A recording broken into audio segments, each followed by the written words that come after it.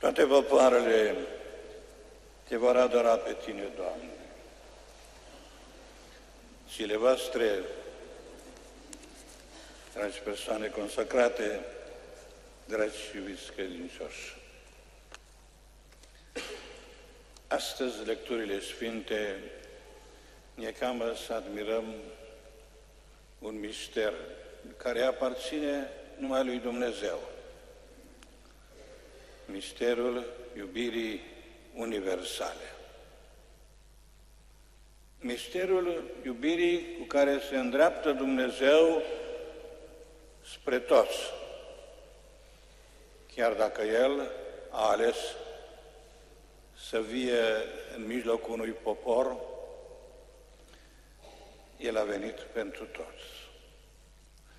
De aceea, psalmul responsorial pe care l-am proclamat astăzi, psalmul 71, ne cheamă cu adevărat să reflectăm asupra conținutului tuturor acestor lecturi pe care le-am ascultat și le-am proclamat acum. Toate popoarele, neamurile, te vor adora pe tine, Doamne, căci Tu vei domni de la o mare la alta, de la un râu până la marginile pământului. În zilele tale vor înflori dreptatea și multă pace până când va fi luna. Regii din Tarșiș ai insulor vor oferi daruri, regii din Seba și din Sava își vor aduce tributul, toți regii se vor prosterna înaintea lui, toate popoarele îi vor sluji. Acest lucru l-am înțeles din prima lectură pe care am proclamat-o astăzi din cartea profetului Isaia. La acest lucru ne-a chemat și ne cheamă cei trei magi care au venit din răsărit până la Betleem ca să-l găsească pe prunc, să se închine lui, să aducă daruri și să-l adore descoperind în el pe acela pe care îl așteptau popoarele, pe care îl așteaptă toți. De acest lucru ne asigură Apostolul Neamurilor în lectura din epistola către Efezeni, în care el este cu adevărat cel ce devine crainicul acestui măreț adevăr. Este revelat acum că păgânii sunt împreună părtași ai promisiunii, că și ei sunt prinși în această lucrare de mântuire pe care Dumnezeu a voit-o și a realizat-o prin Isus. Trebuie să subliniem și să ne bucurăm cu adevărat că nu suntem numai noi câțiva,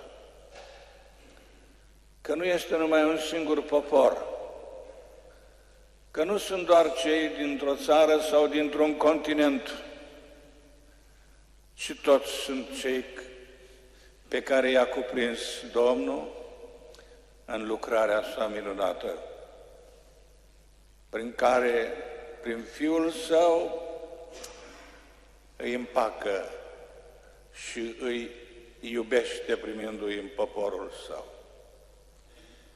Acest lucru ne bucură să-l găsim astăzi, dragi și iubiți credincioși, în toate lecturile sfinte. Sărbătoarea de astăzi este una dintre cele mai iubite sărbători. De fapt, vine să fie ca un fel de concluzie la marile sărbători ale Crăciunului după cele începute în Advent. Vin textele sfinte și sărbătoarea de astăzi să ne arate pe Iisus Hristos coborât pentru toți, făcut asemenea nouă oamenilor, nefiind exclus niciunul, chemați ca toți să fie părtași la această iubire. Epifania Domnului, așa cum o numește serica noastră și calendarul nostru, vrea să spună arătarea Domnului. Dumnezeu își arată fața sa. Dumnezeu se manifestă înaintea noastră ca acela care este Mântuitorul tuturor, care vrea ca toți fiii săi să se bucure de împărăția sa. Epifania este un termen grecesc care vrea să spună epi de sus și faino a arăta, epifania, arătare de sus. Noi știm că se cheamă arătarea Domnului. Dar mai este un termen care este tot așa de expresiv și tot așa ne face să înțelegem teofania, descoperirea și arătarea lui Dumnezeu, teos și faion, care înseamnă măr, manifestarea lui Dumnezeu. Este cu adevărat astăzi momentul când Isus se descoperă tuturor neamurilor din uh, lecturile pe care le-am ascultat, lectura întâi. O lectură care vrea să ne anunțe acest măreț adevăr din partea lui Izaia. O lectură care ne vorbește despre Ierusalim, care va fi plin de lumină. Dar nu se oprește numai la Ierusalimul terestru, ci este vorba de Ierusalimul ceresc, în care sunt toate popoarele și în care va fi această lumină continuă și spre care se vor îndrepta toți. Ierusalimul este cu adevărat un punct istoric, real, geografic, dar care are o semnificație profetică, Ierusalimul ceresc, unde toate popoarele se vor aduna. Așa cum știm că spre Ierusalim se îndreaptă astăzi toate popoarele, toți cei care cred, mahomedanii și toți ceilalți care doresc să-L întâlnească pe Dumnezeul coborât între oameni. Sigur că vine să ne întărească această convingere Evanghelia de astăzi, care este așa de frumoasă, așa de expresivă, așa de grăitoare, cu cei trei magi, trei magi din răsărit, de undeva departe, din Babilon.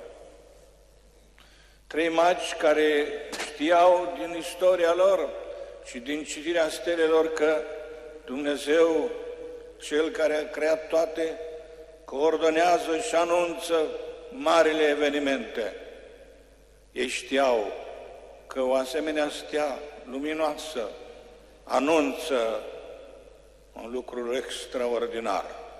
Citeau în stele.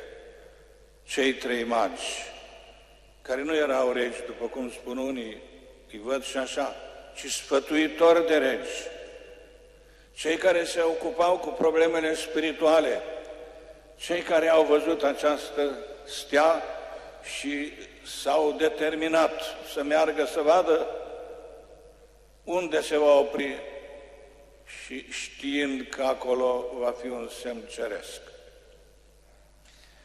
Despre această stea, Sfântul Ioan Gură de Aur, interpretând acest text, această pericopă, spune că această stea este un semn ceresc un înger plin de lumină care i-a însoțit pe cei trei magi pe drumul lor.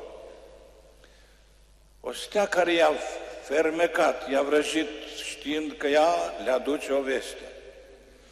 Și notăm din ceea ce am auzit de atâtea ori din această lectură a Evangheliei pe care am proclamat-o acum, după Sfântul Matei, că cei trei magi au rămas cuceriți de această stea, de acest semn. Și neliniștiți, mergând pe urmele ei, fără să se oprească, învingând toate dificultățile, cerând explicații de la cei care ar fi trebuit să știe. S-au îndreptat spre Irod ca să afle și el și să afle de la el ce vrea să spună această stea și cine este regele pe care ea îl anunță. Lucru care l-a turburat pe Irod și întreg orașul, așa cum spune evanghelistul, tot Ierusalim.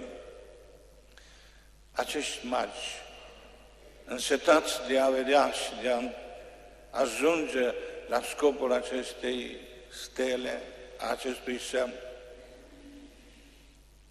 se îndreaptă mai departe spre Betleemul despre care vorbesc profeții.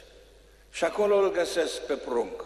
Ei, magi păgâni, veniți din depărtare, vin ca să-L descopere pe Cel pe care Dumnezeu l-a promis și Dumnezeu l-a trimis ca rege, ca Mesia, aducându-i darurile pe care așa de frumos ne le prezintă Evanghelistul.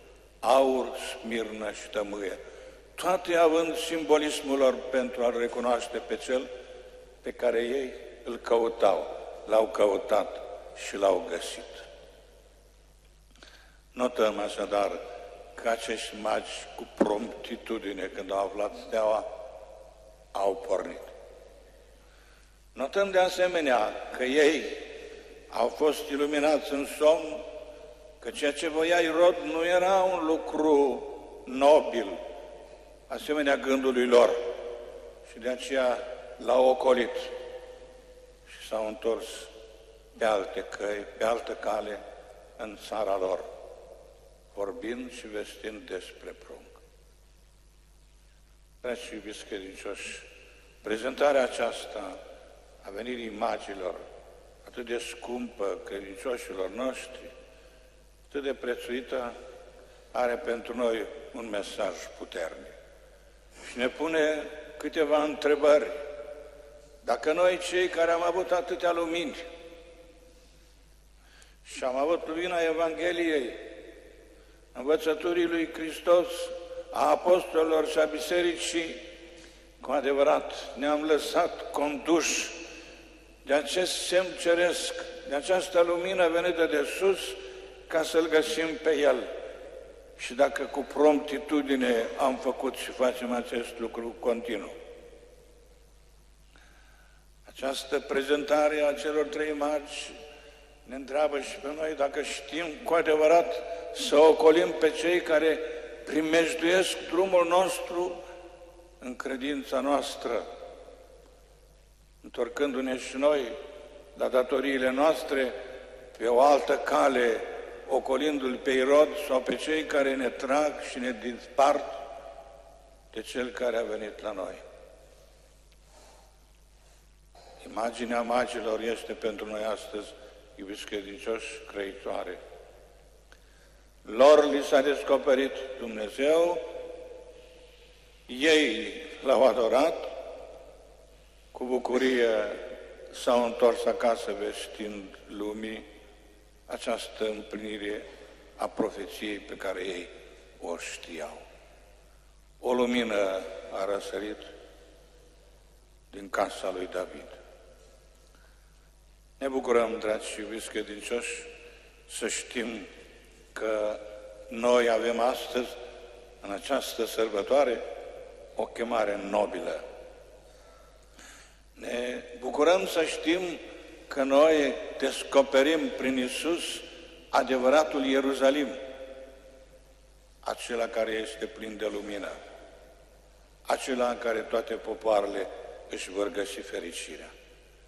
Acel Ierusalim ceresc care este drumul pe care noi îl parcurgem, urmându-l pe prunc reprezentat prin acea stea miraculoasă.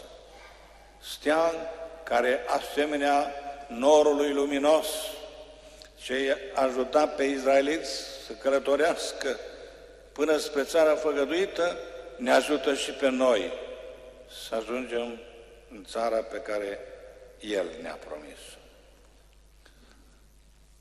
Astăzi, celebrând această sărbătoare, aș spune ca o concluzie la toate sărbătorile frumoase și care ne cheamă să mergem mai departe, urmând steaua și pe prunc, reprezintă pentru noi un moment de bucurie, dar și de rănoire, de angajament pentru a-L descoperi pe Iisus, steaua vieții noastre și a-L urma. Astăzi, întreaga biserică se adună și invocă de la Dumnezeu binecuvântare asupra darului apei, sfințind-o, ștându-ne nouă ca un simbol și semn de curățire și de purificare în viața noastră, prin care să ținem departe de noi toate pericolele, pe toți vrăjmașii, tot răul, și să păstrăm comuniunea noastră cu Cel care a venit la noi să fie binecuvântarea noastră. Cel care ne-a făcut părtași de botezul nostru, de botezul prin care noi am devenit Fiul lui Dumnezeu și ne-am împărtășit cu acest mare dar al mântuirii.